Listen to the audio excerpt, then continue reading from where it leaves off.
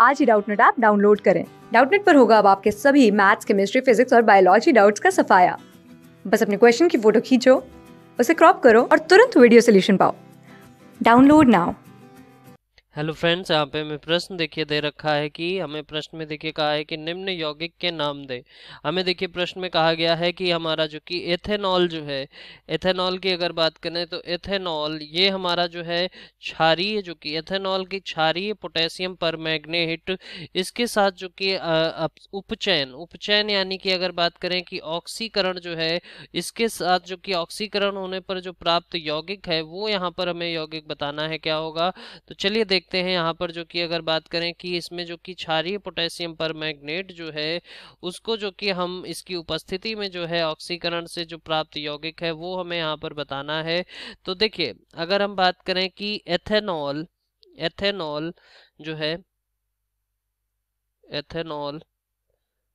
इसकी अगर हम बात करें तो एथेनॉल यानी कि ये हमारा जो कि C two H five O H ये होता है। तो देखिए, अगर हम यहाँ पर एथेनॉल जो कि C two H five O H यानी कि हमारा जो कि इसे हम कहते हैं C S three C S two O H तो ये हमारा जो कि क्या होता है? C S three C S two O H इसकी जब हम जो है, इसकी जो कि एथेनॉल या एथिल अल्कोहल जिसे बोलते हैं तो ये जो कि हमारा पोटेशियम पर मैग्नेट यानी कि हमारा जो कि एल्कलाइन जो कि अगर देखें, हमारा के एम एन ओ के एम एन ओ फोर इसकी उपस्थिति में जब ये हमारी इसकी अभिक्रिया होती है तो यहाँ पर जो कि H2 जो है H2 ये हमारा जो कि निकलेगा और यहाँ पर जो कि उत्पाद के रूप में हमें जो है प्राप्त होता है, वो है C S three C S three C double bond O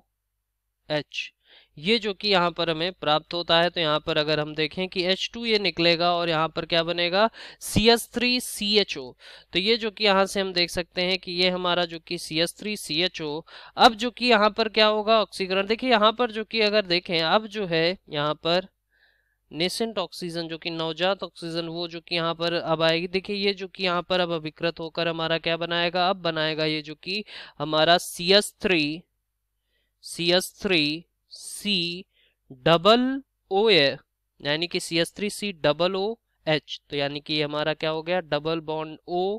और ये हमारा इधर आ जाएगा ओ एच तो ये जो कि यहाँ पे हम देख सकते हैं कि सी डबल ओ एच ये हमारा लगा हुआ है, ये हमारा क्रियात्मक समूह होता है तो ये जो कि यहाँ पर ये देखें, एक और ये हमारा दो दो कार्बन है, यानी कि ये जो कि हो जाएगा एथेनोइक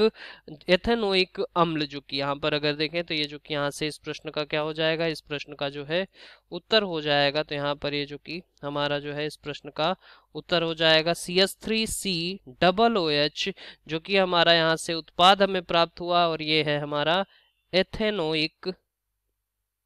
एथेनोइक एथेनोइक जो है अम्ल, या इसे हम एसिटिक अम्ल जो कि ये भी बोलते हैं तो ये जो कि यहाँ से हमें प्राप्त हुआ जब हमारा जो कि C S three C C S two H alkaline जो कि यानी कि क्षारी पोटेशियम पर मैग्नेट के साथ जब हमारा ऑक्सीकृत होता है तो ये जो कि ऑक्सीकृत होने पर एथेनोइक अम्ल जो कि इसका उत्पाद जो है हमें प्राप्त होता है। थैंक यू क्लास सिक्स से ट्वेल्थ से लेके NEET I I T JEE mains और एडवांस के लेवल तक। दस मिलियन से ज़्यादा स्टूडेंट्स का भरोसा। आज ही डाउनलोड करें डाउट नेट आप या व्हाट्सअप कीजिए अपने डाउट्स आठ चार सौ चार सौ चार सौ पर।